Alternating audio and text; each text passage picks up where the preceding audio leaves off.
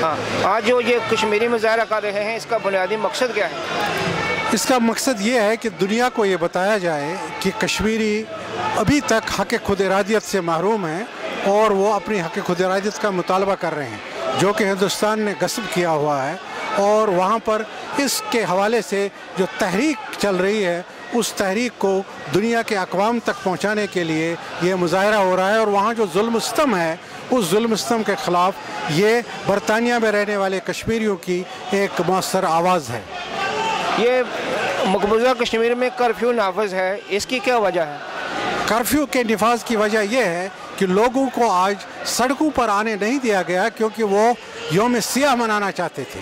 और योम सियाह को रोकने के लिए योम सियाह में शमूलियत से रोकने के लिए वहाँ पर ये कर्फ्यू नाफज किया गया। है ये कश्मीर का मसला आज़ादी है या इलाहाक? इसके बारे में आप क्या कहना चाहते हैं? कश्मीर का मसला हक खुद इरादियत का मसला है और हक खुद इरादियत कश्मीरियों को मिलना चाहिए। ये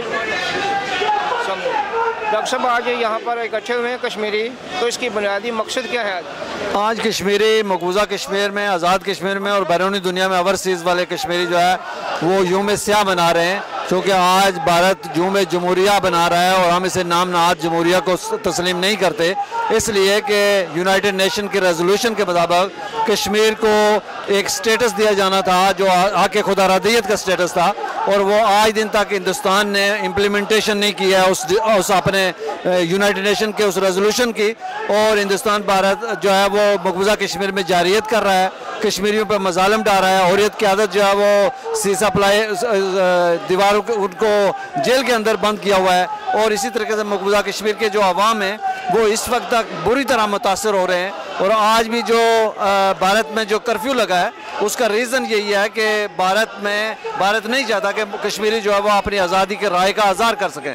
और उधर दूसरी तरफ़ जो है वो, भारत जो है वो आज हिंदुस्तान डे मना रहा है। और हमारा अकवा मुतहदा से और अकवा आलम से ये मुतालबा है कि वो भारत को बाज रखें और कश्मीरियों के साथ किया हुआ इंटरनेशनल लेवल पर जो वादा है उस वादे को पूरा किया जाए और कश्मीरी को सेल्फ डिटर्मिनेशन दिया जाए। बहुत शुक्रिया। जो मकसद है कश्मीरियों का ये आप क्यों आए हम फुली सपोर्ट करते हैं हम कश्मीर को आज़ाद करा कर रहेंगे इन कश्मीर आज़ाद होएगा, हम इंडिपेंडेंट रहकर भी बनवाएँगे। और ये हमारी हमारी कोशिश है कि हम कश्मीर को आज़ाद करा कर इन अल्लाह ने चाहा तो कश्मीर आज़ाद होगी और हमारी ज़िंदगी में हम खुद देखेंगे। और जो हमारे लोगों की, हमारे लीडरों की कोशिशें हैं, मियाँ नवाज़ शरीफ की ताक कोशिश है, वो इन रंग लाएगी।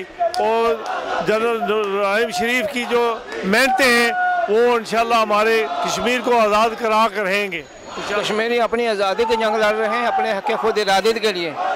कश्मीरी अपने हक खुद इरादत के लिए आवाज़ बुलंद कर रहे हैं। जी जी।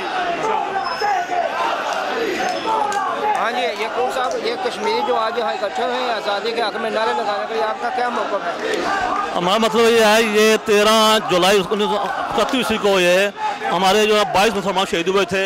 उससे लेकर आज तक हमारा कश्मीर आज़ाद नहीं हुआ। हमें बहुत अफसोस है कि जो ना बैनी तो बैनी जो ना कौम कश्मीर मसले की तोजह नहीं देती है खास में पता नहीं आ ये पता नहीं पता करता है मसला ये तो कश्मीर का मसला हल करना चाहिए। हमें चाहिए इंसाफ। इंसाफ मांगते हैं उनसे और इंसाफ हमको दिया जाए, क्योंकि ये हमारा हक बनता है ये कश्मीर का, ये कश्मीर का है। कश्मीरी के कश्मीर का क्या है? हक दिया जाए। इसी पर मैं आपसे शुक्रिया जनाब।